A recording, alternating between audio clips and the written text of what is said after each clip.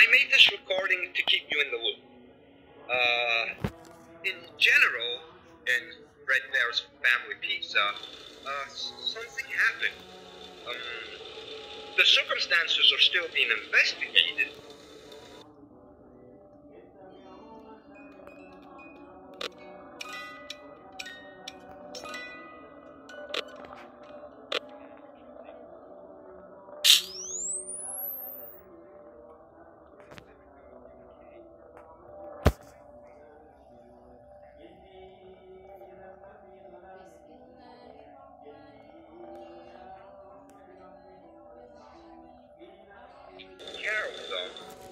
Because of the incident in the other pizzeria, many employees were uh, suspended from their positions.